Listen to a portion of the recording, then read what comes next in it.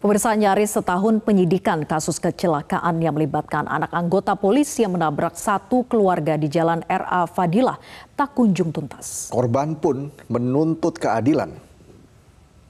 Korban menuntut keadilan kepada pihak kepolisian Polres Metro Jakarta Timur untuk memproses kasus tersebut. Ini sudah mengatakan bahwa penyidik bahwa uh, mediasi dulu dan kita menempuh jalur hukum.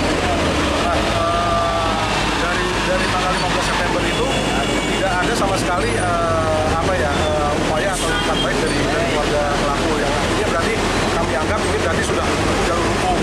Nah, setiap hari kami tanyakan ke penyidik penyidik bagaimana kelanjutan bagaimana kelanjutan prosesnya uh, tidak ada kabar. Nah, akhirnya kami bulan Oktober kami uh, upaya untuk mulai mengirimkan surat lah ke beberapa instansi yang bisa yang harapannya kami bisa membantu kami yaitu ke Kapolri, ke Ombudsman, ke Kompolnas. Sementara itu, Kanit Gakum Satwil Lantas Polres Metro Jakarta Timur Ibtu Darwis Yunarta mengungkapkan, polisi sudah menetapkan ARP sebagai tersangka sejak November 2022. Berkas perkara tahap pertama sudah dilimpahkan ke Kejaksaan Negeri Jakarta Timur.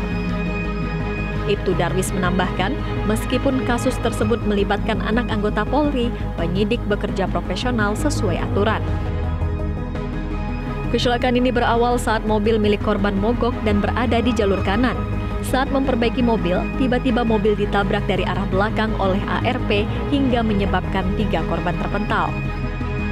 Akibat kecelakaan, dua korban mengalami patah tulang dan korban bernama Giuseppe mengalami kelumpuhan pada salah satu kakinya dan hingga saat ini tidak lagi bisa berjalan normal dan harus menggunakan alat bantu.